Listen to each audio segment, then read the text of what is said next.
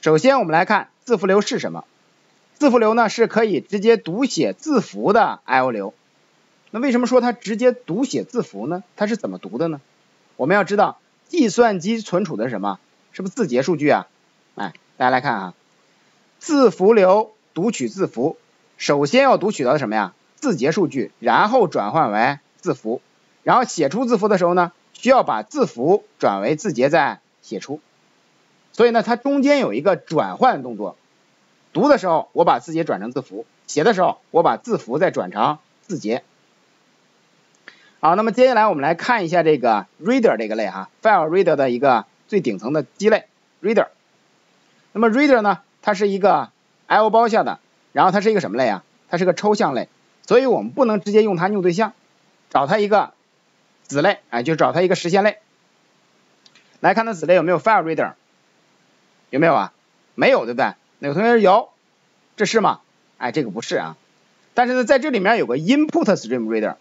这个 input stream reader 呢，我们在今天要要学的哈，然后现在点进去看一下，先不学它，但是我们今天肯定要学的，它有个以呃直接子类叫做什么 file reader，这个 file reader 就是我们现在要学的，哎 file reader，它跟我们这个 file input stream 很像，也是直直接操作文件的。好，我们来看它里面有什么方法，有什么方法呀？说没什么方法呀，而它的方法都来自于什么？来自于它继承的直接父类或者是间接父类。好，那现在我们就用一下吧。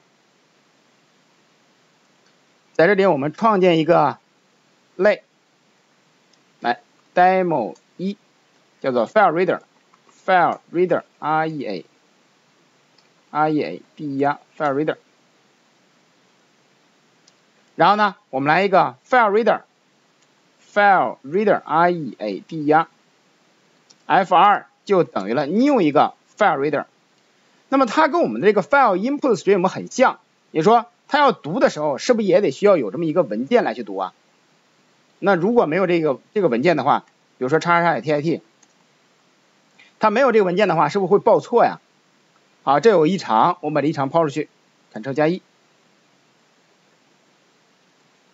大家来看一下，我们现在直接运行一下，来运行，看怎么了？是不是出现 file not found exception 啊？就是文件找不到异常。那好，我们需要有这么一个叉叉叉 tit，然后右键点新建，来一个叉叉叉点 tit，在这里面呢，我们写一些中文进去，它不是可以直接操作字符吗？咱们就写个中文，大家好，大家好，对吧？好，我们来来看这边，那我就可以通过 read 方法去读取了。我们来看这个 read 方法啊，大家来看它的直接父类是不是有 read 方法？来点进来看一看 read 方法，它返回什么？是不返回是一个 int 呀？而且它说读取的是单个字符。那么这里说的也很明白，说读取的字符如果已达到流的末尾，则返回是负一，是不是跟我们那个 file input stream 读的时候是效果是一样的？最后结果也是。负一对不对？好，那么接下来我们就可以这样写了。来看一看啊，先看读一个，然后一会儿呢，咱们就可以写循环了。那么写这个循环其实跟怎么样？是不是跟我们这个 file input stream 也是一样的？所以你把字节流学完之后，字符流都可以去自学的啊。让我们来看 f 二点这个 read，这是读取一个字符，然后呢 s o s o 打印这个 x，我们来一个 f 二点这个 close，把 log 把流关掉，然后来运行，输出这样一个结果。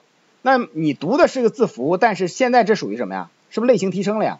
那我想要字符怎么办？我就可以怎么样？是不是这样写了？好，我在下面写，叫做叉 c 就等于向下强转，是不是就可以了？哎，强转这个 x。然后我们打印一下这个 C，来再运行，大家看大是不是拿到了？那么既然我们知道，我们读的每一个字符都可以向下强呃向下转型，然后它把它变成字符，而且呢流的末尾返回值是负一，我们这个程序就可以怎么样？是不是优化一下了？哎，优化一下，demo demo 一。然后我们接下来来看啊，Ctrl C，Ctrl V，我们来一个 int int C，int C，这里面一定要写 int 啊，不能写叉，因为 read 方法它返回值类型是一个 int 类型的。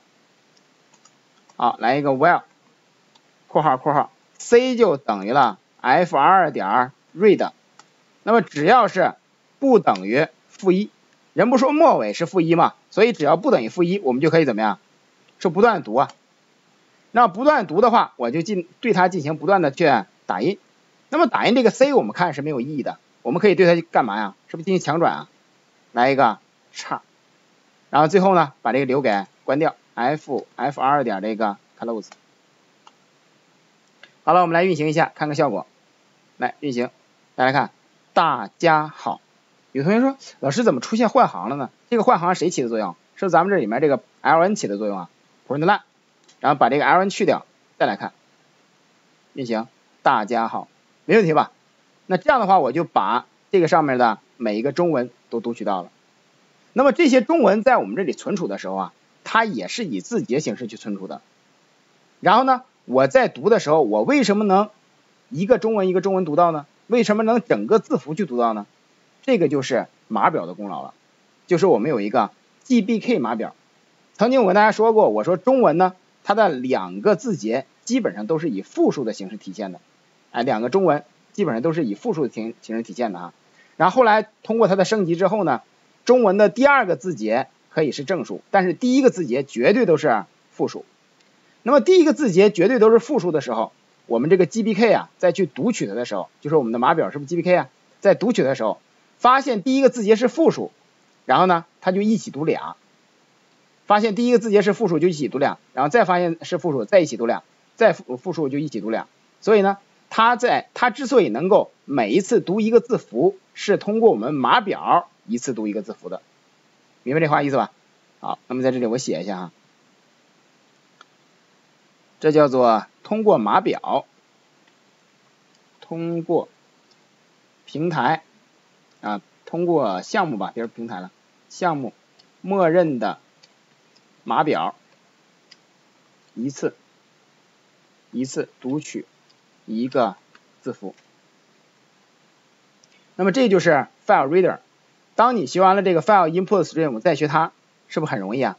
基本上差不多的哈，只不过说一个是操作字节的，一个是操作字符的。好，这个知识点呢，咱们在这儿保存一下。